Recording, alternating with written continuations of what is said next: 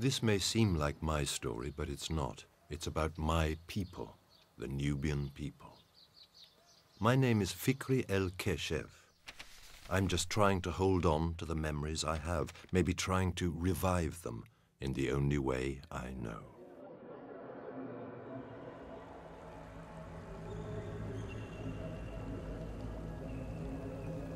In 1952, the monarchy was overthrown and Gamal Abdel Nasser, with his military regime, took over.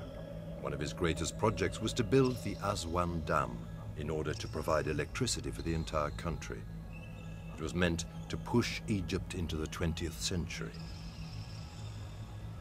The largest man-made lake in the world was created, and everything south of it was flooded. The Egyptians called it Lake Nasser, the Sudanese Lake Nubia. 46 villages were moved to Kom Ombo, 46 Nubian villages. 100,000 people transferred to a land that was no longer on the Nile. It was the end of Nubia.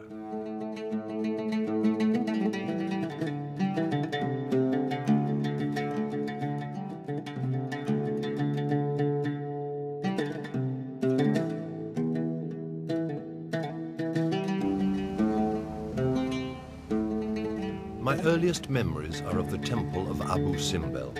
My village lay on the opposite bank of the river, and the temple dominated the landscape. It was a presence in our lives, reaching deep in our collective subconscious. It was there that I first became aware of being a Nubian.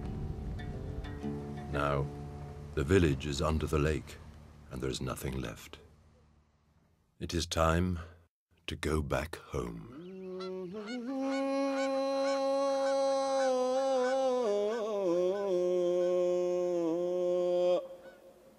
dure logo wenga gashade wenga to daris kella menjade ne dure logo wenga gashade wenga to daris kella menjade ne dure logo wenga gashade wenga to daris kella menjade ne dure logo wenga gashade daris kella min jadene dure logo wenga shade wengato في مقولة بتقول؟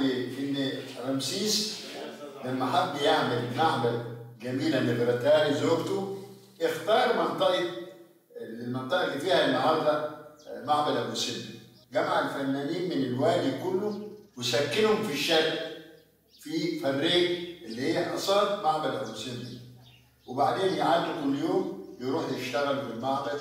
ولذلك طلعوا كلهم فنانين النهارده. أبو سمبل بتعتبر مركز الفن في النوبة خصوصا Since the story of the temple is also the story of my village, I went back there as a tour guide after my studies. Every day I would tell tourists about Ramses II and how he chose this area to build his temple, which was to become one of the ancient wonders of the world. I would decipher for them the writing on the walls about his battles and his conquests. In a way today, I feel like I am fulfilling my mission, recounting the saga of my people. So maybe it is here that I should start.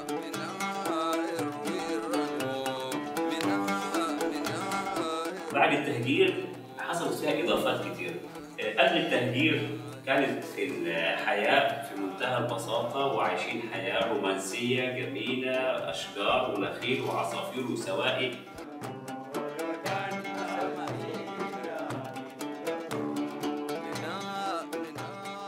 البشرية كلها بتنشد السلام والمحبة والاخوه والتصالح والتسامح.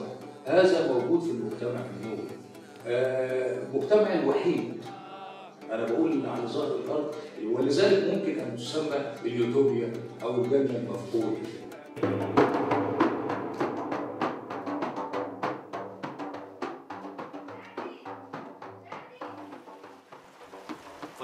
I was nine years old when they forced us to emigrate. My land was lost forever. So I traveled the world searching for a haven to fill the emptiness I felt. But as the years went by, I realized I was losing ground. I needed to return. I sometimes wish that I belonged to the generations that never knew about our exodus, either dying before it happened or born years later. But I was born in this one and feel that I have a responsibility to preserve our memories and our culture. I owe it to my family, to my ancestors, and to our children.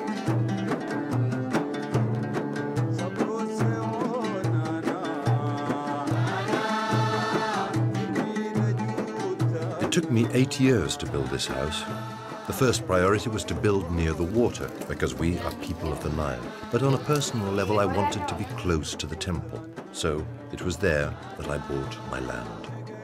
Each time I had a little savings, I would add a stone. Few people believed I could do it, but I just kept building, designing it completely in the Nubian style, as if I were recreating a piece of Nubia. The house is now finished. However, its real purpose has yet to come true.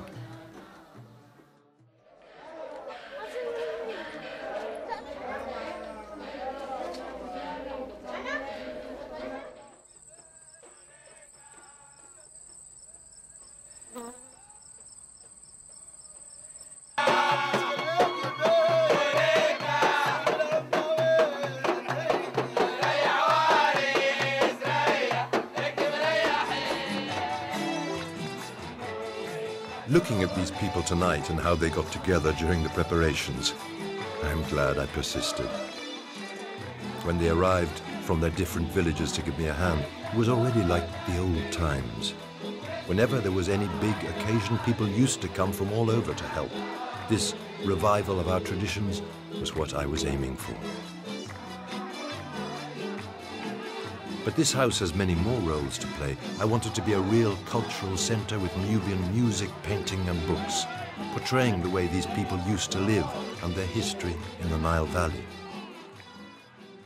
It's not just about one night or one great party.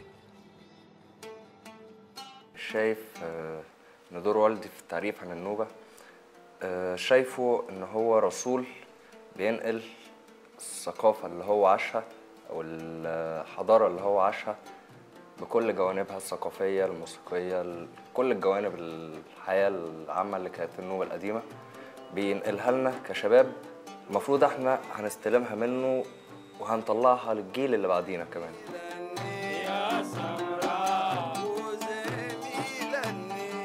زمان مثلا الفن الفن كان بيبقى فيه مثلا مشاركة. يعني مثلا المطرب بيغني كل الناس اللي واقفين كانوا بيشاركوا. دلوقتي فرقة واحدة بس اللي بتلعب على المسرح والناس إيه، آه، القطاع الكبير أو العدد الكبير مستمع. عن طريق الأغاني القديمة دي بيحاول آه، إن هو يوصل لنا برضو رسالة. يعني المزيكا دي كانت كذا. كانت آه، شيء من من الثقافة النوبية الأصيلة. بس بدأت تنقرض أو بدأت تندثر. لعدم وجود شباب بيحاول يتابع الحاجات دي. أغنية ورا التانية هتتنسي خلاص. يعني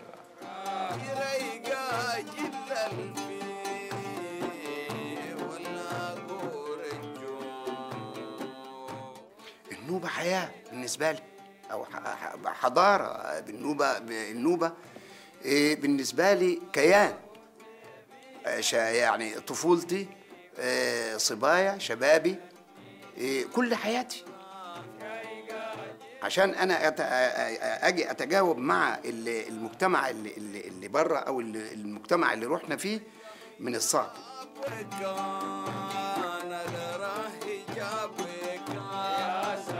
الأغاني اللي ابتدت تظهر في النوبه بعد التهجير كانت ودانيات بتخاطب النيل سواء كان معاتب أو كان بأي شكل بيتباكى على فضل النيل. فدي يمكن كانت أول ودانيات أثرت في مشاعر النوبي من خلال الأدب اللي إحنا بنتكلم عنه كأدب نوبي ظهر باللغة النوبية. آخر ذكرى بقى كانت الهجرة. سنة 4 أكتوبر 64 لما هاجرنا من هناك طبعا نزلنا وإحنا بنعيط.